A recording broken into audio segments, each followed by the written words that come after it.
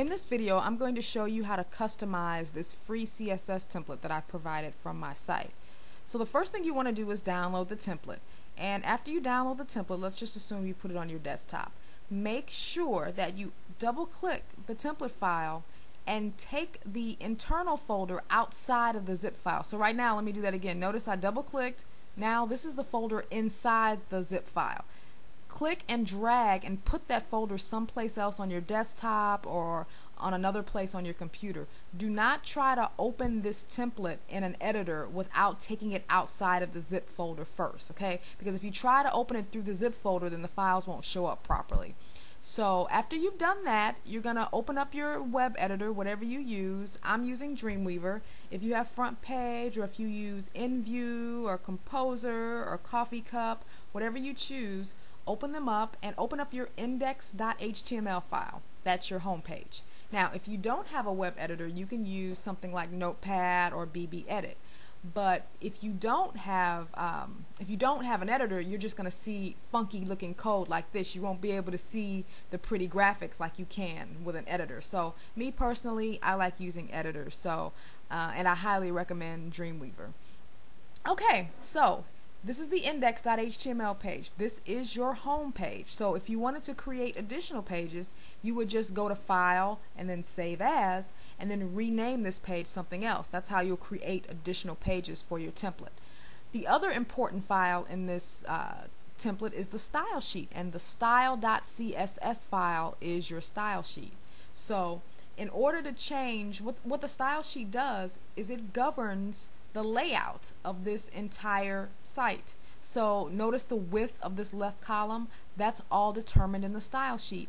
See this color here, this blue color in the left column? That's all determined in the style sheet. So I'm going to go to the style sheet and I tried to name the section so that's pretty intuitive. So the left nav here, this block of code is telling the browser what to display for this left nav. So let's say you don't like this blue color and you want to change it to red. You would open up the style.css file and look for left nav and change it. See this background color and this got this funky little hex color code here. Now no one expects you to know what the color is for red and no one expects you to memorize the thousands of hex color codes that exist if you want to figure out how to select the right hex color that you want, you can use a plugin. So if you're a Firefox user, do a Google search for ColorZilla and you can download this very cool plugin that will it's like an add-on to your Firefox browser and what it does is it adds an eyedrop tool to the lower left corner of your browser and anytime you see a color on the web you go hey that's the color I want to use for my site you just hover the eyedropper tool over that section and Firefox will give you the hex color. So hopefully you use Firefox. It's the best browser. It's the safest browser. And it really has some cool add-ons. So if you have Firefox, go ahead and download that plugin and use it because it's very handy.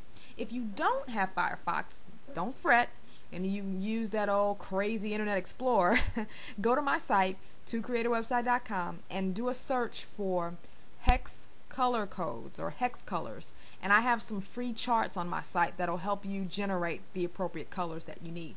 So let's say you want to change the color to the left nav to red. Now I happen to know that the color for red is CC0000. How do I know that? Just because I know some of the basic colors. I don't know them all, but I know a few. Again, don't fret. Don't feel like you have to know all these. Use those tools that I just mentioned. So I'm going to save the style.css file and go back to the index page and voila look the left nav is now red. Now that looks hideous. Of course you wouldn't keep it like that but I'm just showing you what it's gonna look like in this example. So let's go back. I'm gonna undo that and we're gonna go back to the old color. And I hit save and the index file is updated. So anytime you want to edit any layout changes, you go to your style.css file and you look for the appropriate section and make the changes. So for example, the container. The container is actually this entire box that the site sits in. That's the container. So if you want to change that to say to make it larger, you would change the width. Right now it's at 850. If you want it to be a thousand, you would change that to 1,000 pixels. That's what the PX stands for, pixels. The header. That's this section here. That's where it says your site here. That's your header. So say you wanted to change the width and height of the header, you would just adjust these two values here. Now, notice that the header has a background image. So this air this this your site name here, that's this whole area right here that you're looking at, that's actually an image.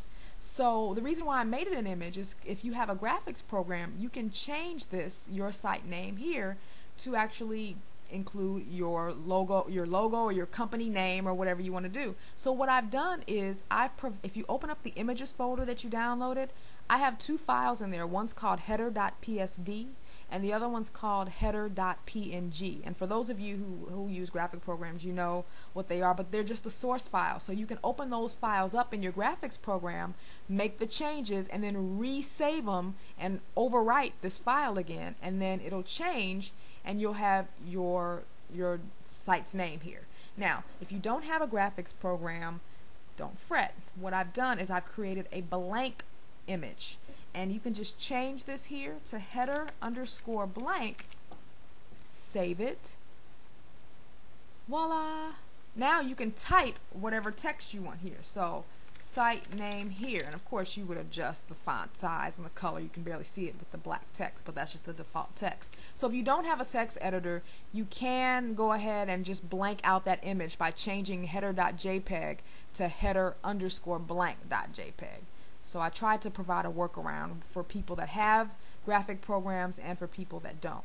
So that's how you would adjust the header. So as you can see, thanks to the style sheet, you can pretty much change the entire layout of this whole web page. If you don't like the color of the footer, you can go back to your style sheet and scroll down until you find the footer section. Here it is. Notice this is the background color.